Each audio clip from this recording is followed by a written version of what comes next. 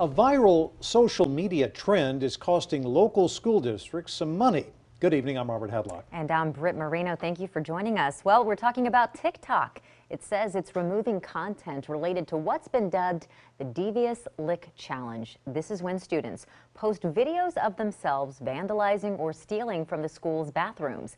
KXAN's Tahera Rahman reports several Central Texas school leaders are trying to deal with the aftermath this morning, they noticed that the urinal was gone from the bathroom. Michelle Francis's high schooler has seen the destruction of TikTok challenges firsthand at his Leander ISD school. Soap dispensers ripped off walls like this one in California and broken mirrors in San Antonio. Now, Austin, Hays, Leander, and Round Rock ISDs all say they're repairing school bathrooms. Students are no longer being available to go to the bathroom in between classes. They have to make it to their classroom and then ask to be excused to use it. Leander and Austin school officials say they've already issued consequences to some students. With AISD and Round Rock warning, the criminal mischief means students could face legal consequences or jail time. So why do some challenges, whether harmful or even criminal, tend to go viral on TikTok?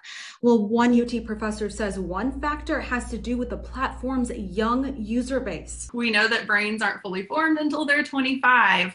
Uh, we know that teenagers in particular use the emotional side of their brains to make decisions instead of the rational side. Natalie Brown Devlin studies advertising and public relations. She says each view, like, and comment triggers a feel good brain chemical. When we look at TikTok as a platform, it's so it's a seamless hit of dopamine. She says the platform is especially enticing for teens because it doesn't prioritize accounts with lots of followers or previous likes. Anyone can get millions of views. Posting content and engaging in challenges like this is essentially like them buying a lottery ticket and hoping today is the day that they win, break through, and go viral. Tahera Rahman, KXAN News. Austin ISD says they're looking at about $2,500 in repairs at just one middle school.